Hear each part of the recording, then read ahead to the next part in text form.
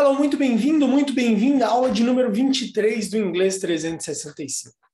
Essa é a nossa quarta semana. Tivemos a primeira semana de fundamentação, segunda semana com texto, terceira semana com outro texto e a quarta semana com mais um texto e de novo do Engo Daily News, que é o site que nós estamos usando como referência. Lembrando que a aula de reading, que é essa primeira aula da semana, tem aula de strategy, dessa estratégica, que é uma dica, uma forma de você abordar esse processo de aprendizagem. Primeira aula da semana depois dela é aula de reading. A gente lê junto. E aí tem um objetivo bem direto, ler, entender o que está falando. Então, a gente lê e vai compreendendo junto o texto sem usar a tradução ao pé da letra, palavra por palavra, algo assim. A gente tenta capturar a essência do texto, a mensagem, e a gente pratica com isso. You ready? Preparado? So let's go. Então vamos lá. Vamos ler é, duas vezes. Aí a gente lê, eu leio a primeira vez. Na segunda vez, nós vamos ler juntos e entendendo o que está falando. So let's see. F, Y, I. Messaging abbreviations you should know. Writing messages takes time and often requires a bit more effort than you're willing to give. That's why people use initialism. Initialisms are abbreviations where the first letter of each word in a phrase is said separately. One example is F, Y, I, which means for your information. This is usually used to let someone know that, that something may be interesting or useful to them, but that they don't have but they don't have to do anything about it. Here are some other, other English initialisms that have become popular in instant messages. You need to end a conversation suddenly. You might send a message GTG or G to G, which means got to go or gotta go. This is useful if you are about to stop using the app and won't see the reply. However, if you only need to leave a short amount of time, you might say BRB for be right back. This will let someone know that you won't reply for a short time, but will return soon. When you want to let someone know that what you're saying is not a fact, but just your opinion. You might start your sentence with I am O, which means in my opinion. However, if you want to show you're being very frank in your opinion, you might instead use TBH, which means to be honest. Of course, if you're not sure what to say, you can use ADK instead of, I don't know, awesome.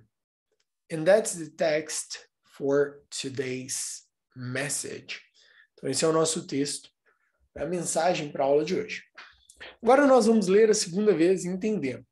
Então, eu vou ler uma vez, você vai repetir e eu vou ir entendendo junto com você, te facilitando a compreensão do texto. So, F, Y, I, messaging, abbreviations, you should know. Muito bem. Então, F, Y, I é uma abreviação. E fala assim, olha. Abreviações de mensagens que deveria saber. Abreviações de mensagens que deveria saber. Next. Então lembra, você vai ouvir e aí você vai repetindo. Então a gente vai lendo devagar e compreendendo. Writing messages takes time.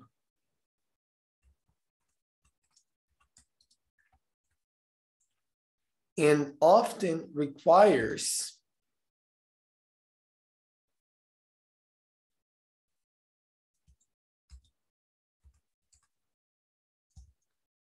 a bit more effort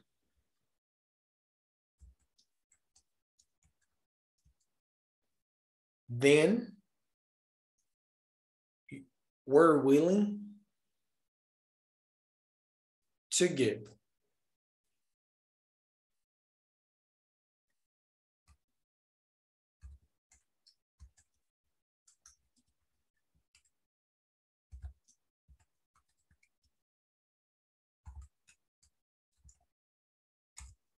All right. Then what we're willing to give. That's why. Essa frase que você vai ver ela muito. That's why. E aí o som um dela é assim. That's why.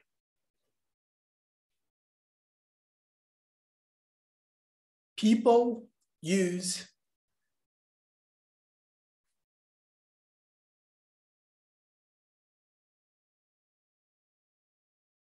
initialisms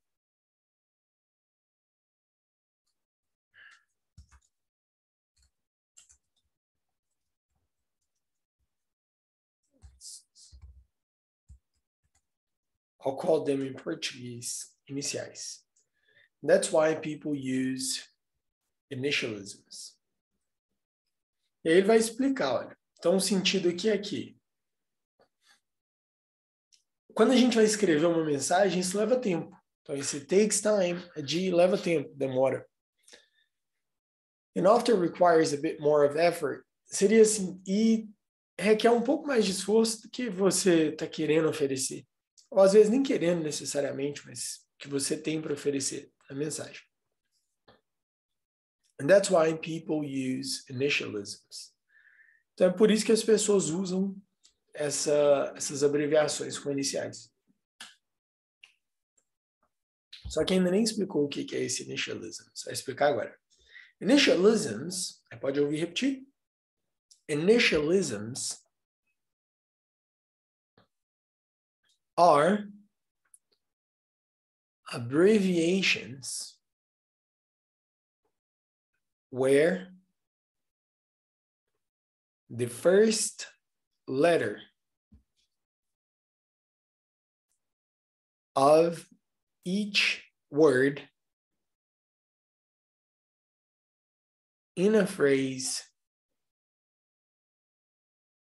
is said separately. Very good. Então, essas iniciais são abreviações onde a primeira letra de cada palavra é dita separadamente. Ok.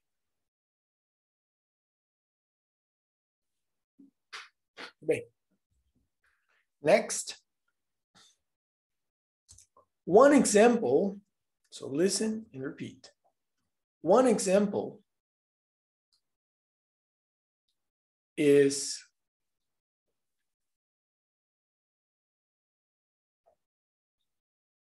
F Y I, which means for your information. Então, estou falando que um exemplo é esse F, uh, que quer dizer para sua informação.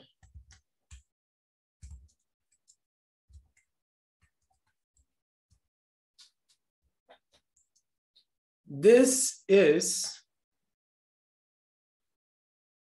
usually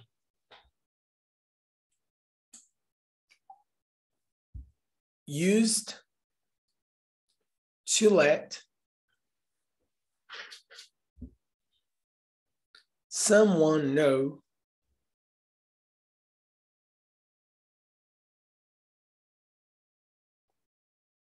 that something may be interesting or useful to them.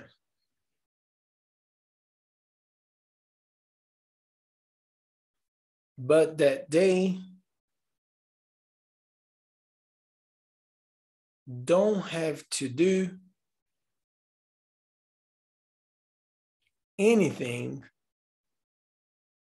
about it. Muito bem. Então, normalmente é usado para falar que alguma coisa interessante ou útil, mas não tem que fazer nada sobre isso.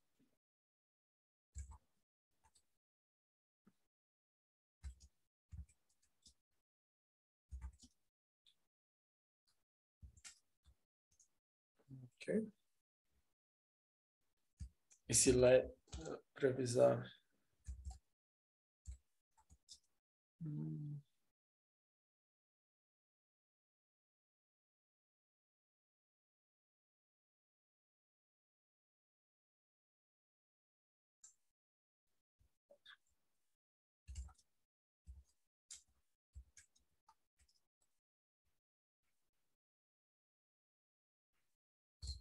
Interessante ou útil.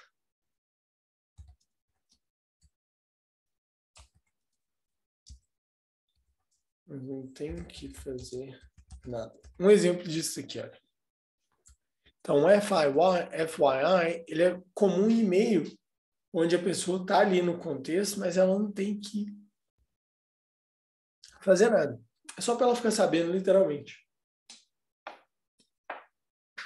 vai ter esse e-mail, FYI. Só literalmente sim, pra você ficar sabendo, for your information. Só para ela ficar ali no loop da informação. Next we have Here are some other English. So let's go. Listen and repeat. Here are some other English initialisms that have become popular in instant messages. All right. Então. Aqui estão.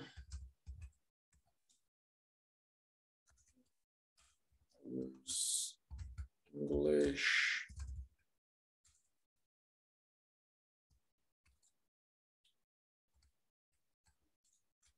Iniciais ficaram populares instantâneo. All right. So this instant messaging são mensagens tipo WhatsApp, redes sociais em geral. Essa mensagem que ela é bem rápida normalmente de comunicação.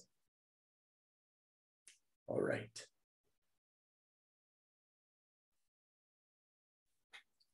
Next, if you need to end, if you need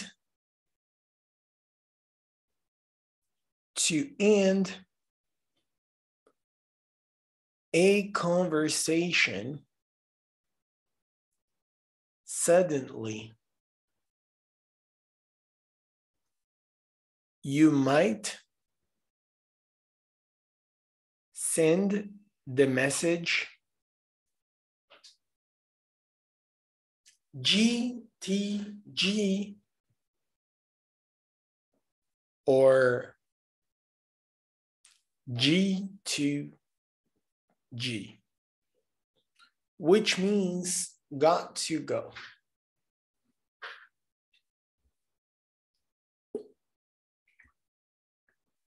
This is useful if you are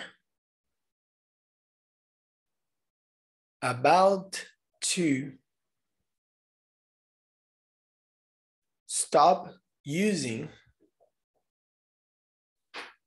the app and want see the reply. Ok. Então, basicamente, é...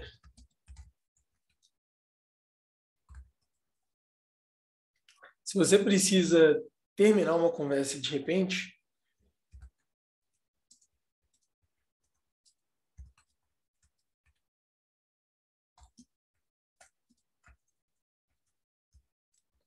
que você pode enviar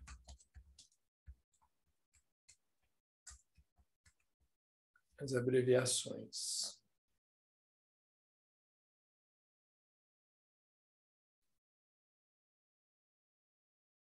All right. Abreviações. GTG. G2G. Which means got to go. Que quer dizer Como se fosse um tem que. This is useful if you are about to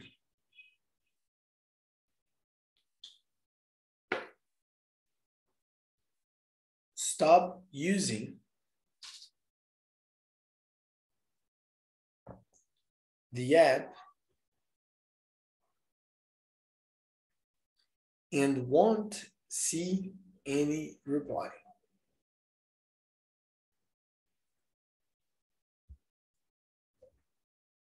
All right.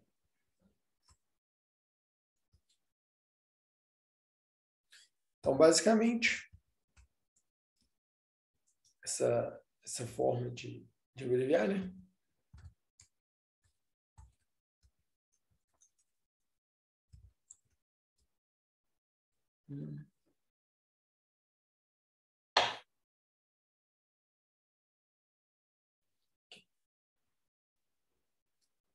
Então é funcional.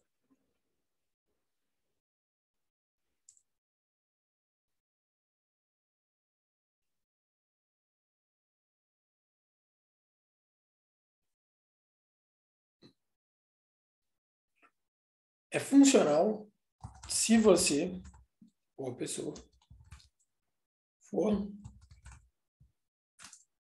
fechar o app.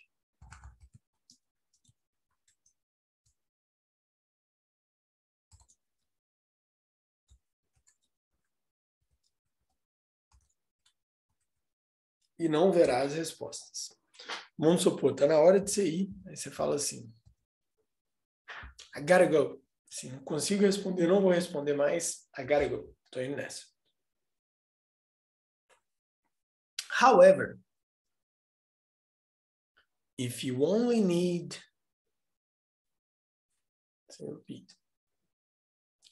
to leave for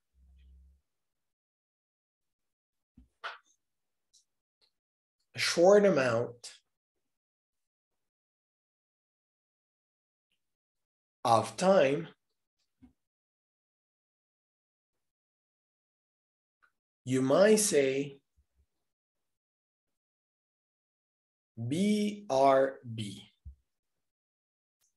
for be right back.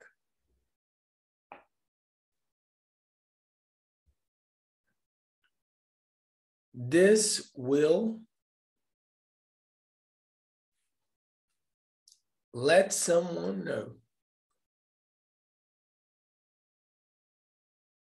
However, no, you want, invés however, you want reply for a short time.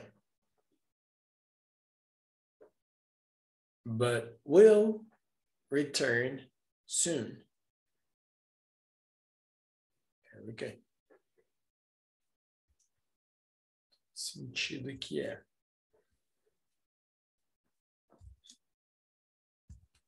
Mas se você for sair rápido, se você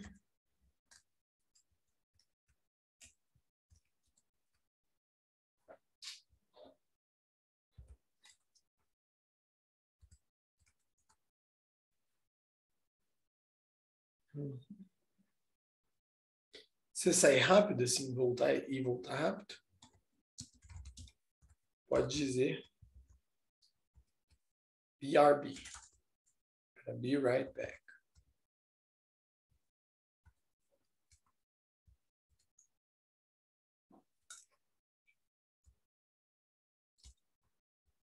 BRB.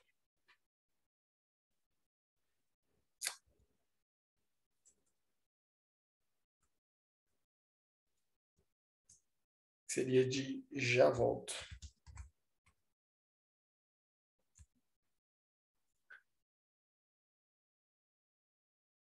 All right, this will let someone know.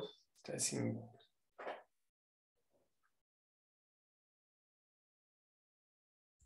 isso informa que não responderá de imediato.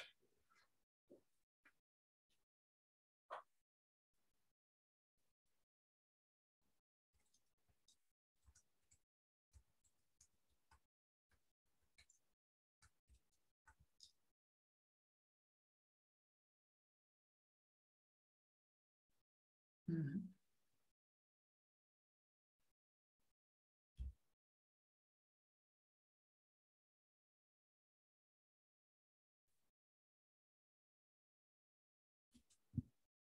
Em breve. Mas retornará em breve. But will return soon. When you want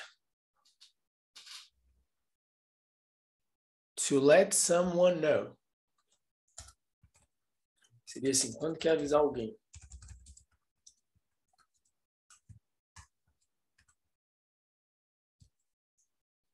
That what you're what you're saying is not a fact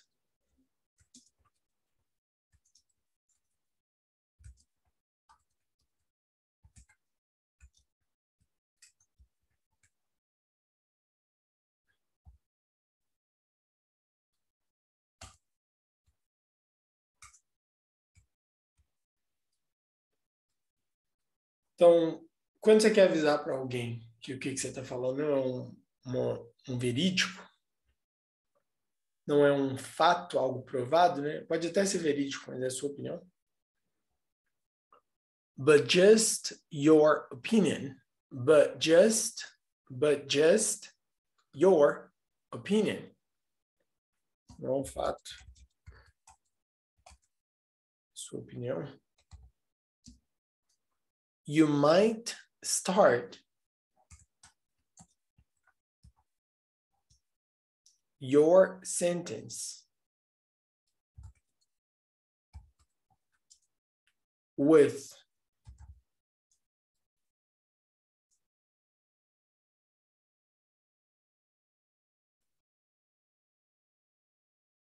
I am O.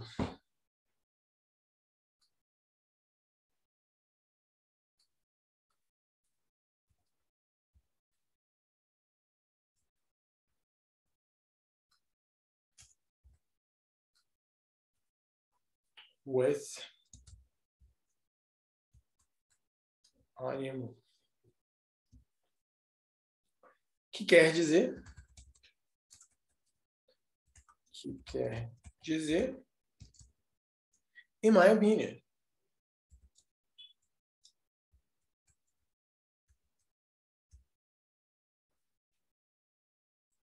In my opinion. However,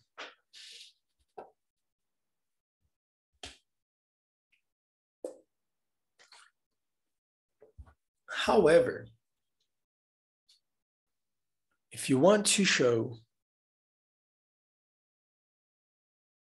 if you want to show you're being very frank, you're being very frank in your opinion.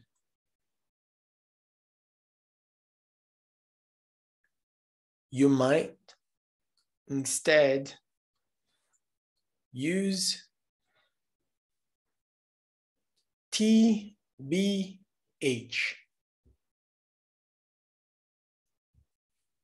Which means to be honest. Esse, however, seria um contudo, mas contudo.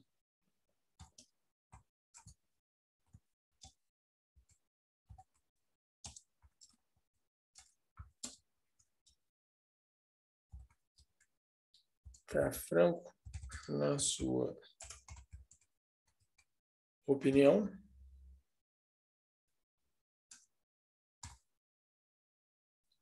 Se quiser mostrar que está sendo muito franco na sua opinião, you might instead use TBH. Você pode usar o TBH. Quer dizer Para ser sincero, to be honest,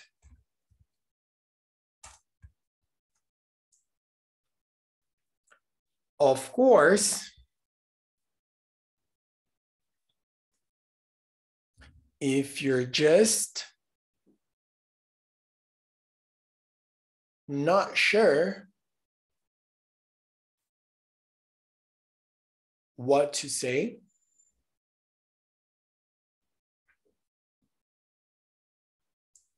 you can use IDK.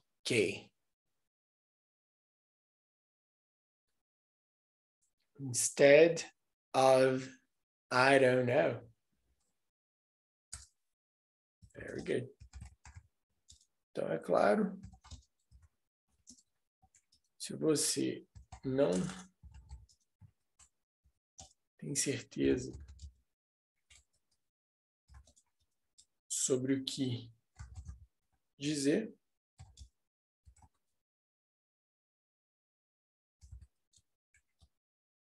Pode usar o IDK. No lugar de